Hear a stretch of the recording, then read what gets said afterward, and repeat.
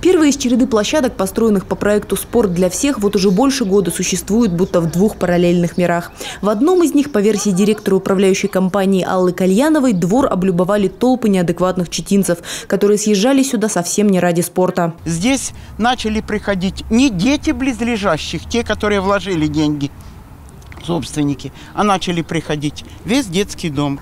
Начался беспредел, начал ходить со всего города. Приезжали машинами, вот э, особенно в воскресенье до 50 человек. Неконтролируемое все стало. Начали бить площадку, начали пинать этот мяч, начали материться. Чтобы отводить незваных гостей от двора, Алла Григорьевна организовала собрание собственников жилья. В итоге больше половины из них высказались за ликвидацию спортплощадки. С той целью, чтобы провести реконструкцию спортивной площадки в детскую. Потому Чтобы что вот дети этот... не приходили в- сюда в- играть. вот Парадоксально, но по версии других жителей окрестных домов, спортсменов из двора директор управляющей компании решила убрать исключительно потому, что не любит детей. Особенно, когда они собираются большими компаниями попинать мяч. Ну, спросите, вот окна выходят, соседи моих.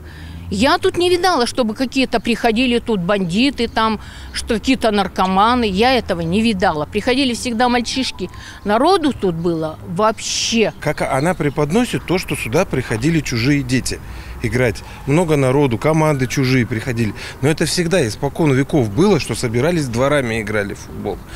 Двор на двор, там район на район и так далее. Но просто сюда приходили по той простой причине, что вокруг больше нету такой площадки. Не будет и теперь. Защитную сетку с коробки сняли еще осенью. Тогда же убрали и баскетбольные кольца. Перепрофилирование началось с того, что площадку перегородили заборами. Только вот дети сюда, как назло, все еще приходят. Говорят, что отчасти по привычке, а отчасти потому, что расставаться с любимым местом отдыха не собираются. А у нас тут играл и баскетбол, и волейбольная сетка даже была стояла.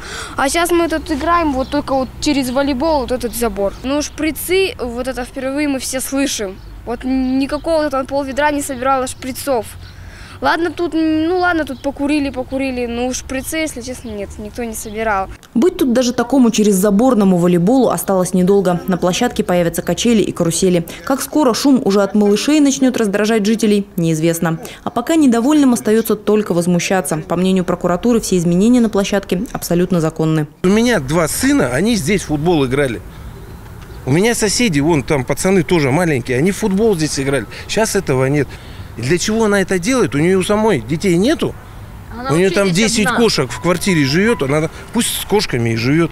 Алена Ведерникова, Максим Лобачев, ЗАП ТВ.